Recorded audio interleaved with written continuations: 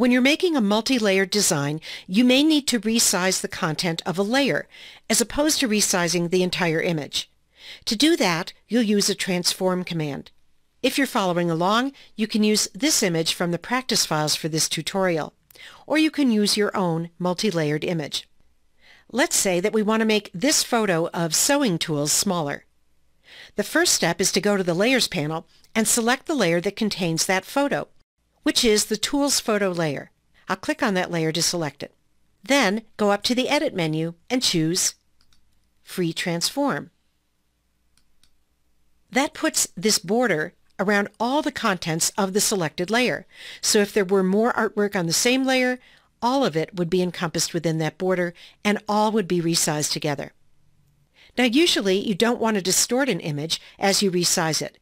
To avoid that, hold down the Shift key to constrain proportions as you click on any edge or any corner and drag in to make this photo smaller or out to make it larger. By the way, it's fine to make layer content smaller, but in most cases, it's best not to make pixel-based content, like a photograph, a lot bigger than the original, or it may look blurry. The last step is to accept the change that you made with the transform command. One way to do that is to go up to the options bar and click the big check mark that appears there whenever you use free transform. And that's all there is to it.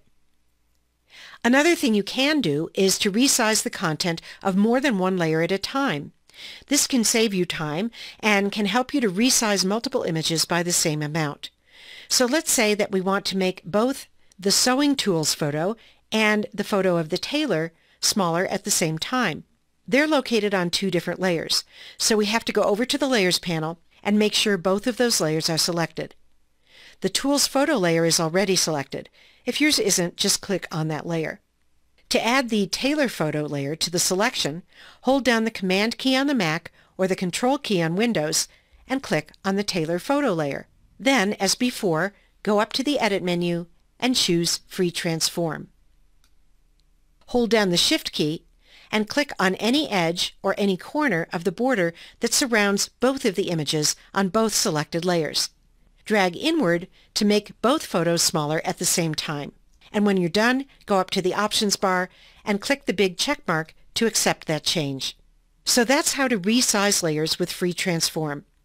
Please don't confuse this technique with resizing an entire image, which is done with the image size command in the image menu, as you learned in another tutorial in this series.